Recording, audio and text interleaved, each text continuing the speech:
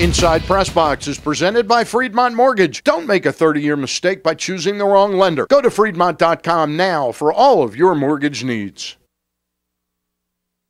And welcome to another edition of Inside Press Box and filling in for the sideline Stan the fan Charles.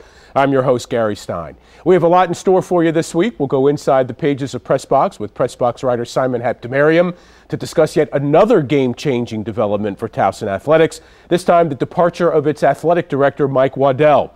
We'll also hit the ice with the Baltimore Saints and head to Old Hilltop for some turf talk. But first, it was back to business in Owings Mills this week for the Ravens, just weeks before they head to Ocean City for the annual convention of Baltimore Ravens Roosts. And joining me now is Council Vice President and host of the Purple Pride Sports Show on Q1370, Bill West, joining us. And Bill, welcome in. How Thank are you? you the 49th annual event, and of course, next year, the Big 50. We'll talk about that in a minute. Everyone is themed. So, what's the theme for number 49? Uh, 49 is Fly Like a Raven. Fly like a raven. So, what does that mean? The floats will kind of exhibit that, or you know, It what- was what's just a theme. happen? Every year they have a committee and they come up with Fly Like a Raven. So they put the Raven birds and they have shirts and stuff.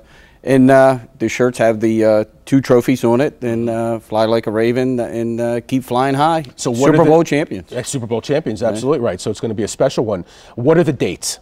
Uh, we go. It starts Thursday on the 30th, 31st, and goes to the 1st of June. Okay. So, in, in talking to you about this whole event and just the concept of what the Ravens Roosts are, and I, I've lived in a few cities around, um, no other place in the country that has an NFL football team has an equivalent to what the Ravens Roosts are, at least as how big they are. What does it say about Baltimore that this is now in its 49th, almost 50th year of existence? It says that it, it always has a strong background as a football town. You know, when the Colts left, they always said that you know in the NFL that uh, the Ravens um, we would never get another football team here in Baltimore, Gary. And they said you know go to the museum, Go build a museum, right. right? You know, in there. But the council of the Baltimore Ravens Roost, which was the old Colts Corral, you know, stayed together when the Colts left town, and here we are. We're in the year number 49, strong. Just since 2007, we're been keeping record. $2.5 million given out to charities and, and players' uh, foundations and Yeah, stuff. and, and that's interesting you say that because that's the story that nobody ever really talks about. Everybody kind of really talks about you guys as a as a social group, a club, an organization. You guys drink some beers, have a good time, tailgate before the games, after the games, all that. Nobody ever really talks about the charitable side of it. And it's all volunteer work too. Each each sector of, of town has maybe four or five roosts in the area. We're from 15. I'm, I'm president of 15. We're in Arbutus. Um, and then you have Pasadena. You have they have all the way to Hagerstown. We got Virginia now down there, all the way up to Hanover, Pennsylvania, York, PA, um, Ocean City, Maryland. Uh, there's two or three down there. I mean, it's up in Cumberland now, Westminster. So it's it's a broad of people that come together for the organization for all volunteers, giving back to Players Foundation. Uh, Special Olympics is one of our large ones. Polar Bear Plunge Right. hit over the million dollar mark this year, giving to the Special Olympics. So it's it's a, a family of football driven football club, but giving back charity. So you get both. You enjoy football and you give back to charities. Now, you've been involved since about 1990. Mm-hmm. Uh, football left here in the form of the Colts, left here in 84, not to come back till 96. What did the Roosts do? How did the Roosts keep it alive for 12 years with no football? kept all the same charities, kept their benefit dances and whatever they gave to there, but you had the stars and you had Stallions. and stallions. Right. So they built around that. They went to the games, they bought tickets, and they supported that, hoping that there. And then our good friend and well missed Art Modell Hmm. decided in 1996 to bring us the Baltimore Ravens. When, when is he going to go into the Hall of Fame already? I, I've been on it. I even campaigned. We even did a petition years ago. Thousands and thousands of names to the NFL to get him in the. Should have been a long time ago, Gary. Yeah. Well, listen, it's going to be special this year because of the Ravens winning the Super Bowl, obviously. But give us the details again for number 49 coming up. Uh, it uh, starts Thursday, Friday, and Saturday. Next week, Saturday's the big parade. You want to come down? It goes uh, all the way up the avenue, uh, and you have floats, everything going on. Players are coming down Friday night. Uh, thank the Ravens for that and their organization.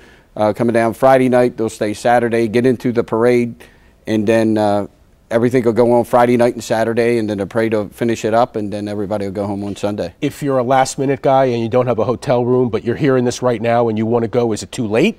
It's two things with that. Okay. If you want to be part of the activities that go on with the council, you got to be registered with the Roost. Right. But if you want to come down just to watch the parade and all, then you get a hotel yourself and stand right down and watch the parade. All right. And it's a great job, and our good friend from Press Box, Joe Platania, does the parade every year. Well, it's interesting you mentioned him because we got him coming up. Thank you so Thank much. Gary. I really appreciate that, job. Bill. Hang out while we're talking Ravens. Let's check in with Press Box Ravens beat reporter Joe Platania, who uh, Bill was just talking about. Joe, uh, OTAs. I guess let's talk some Ravens here. OTAs means organized team activities. The Ravens underwent that this week. You've been out there as you have been for the last 16 years. What have you seen so far from this group of Ravens? Well, of course, uh, the organized team activities, three weeks of them, got underway this particular week out, week out at the Under Armour Performance Center. And it's always hard to tell uh, what the team is going to be doing when they're going half speed in shorts and shells, but it's always good to see the guys back on the field to you know work off whatever rust they might have. I think the two main headlines that came out of the one media access day were the fact that number one, only seven players were not there in any form. You had 83 out of the 90 there, and number two, the news came that uh, second round pick Arthur Brown, who has now agreed to contract terms, uh, he has a sports hernia surgery. He'll be out another month. They'll probably uh, lay him out for the rest of the OTA and minicamp period, and we'll see him when training camp starts on July 21st. But uh, for the most part, the guys were in uh, fairly good shape. Nobody showed up uh, looking uh, really, really big or really, really small. Uh, I know a couple comments have been made about uh, uh, Courtney Upshaw and a couple of the other guys, but they didn't seem as excessively uh, uh, overcome by weight gain as Haloti Ngata was last year.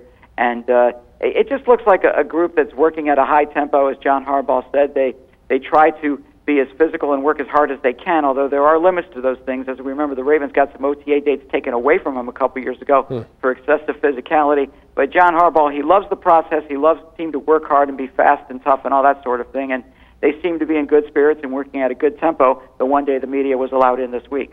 Joey P. sounds good as usual. Thank you so much. Really appreciate it. Okay, thank you. That is Joe Platania. Thanks again for joining us, Joe. Thank you, Bill, for coming in and talking some Ravens football with us. We'll take a timeout. When we come back, Pimlico's Frank Caruli talks turf racing, and I'll discuss Towson sports with Simon Habtemariam. Stay tuned. Inside Press Box is presented by Freedmont Mortgage. Don't make a 30 year mistake by choosing the wrong lender. Go to Freedmont.com now for all of your mortgage needs.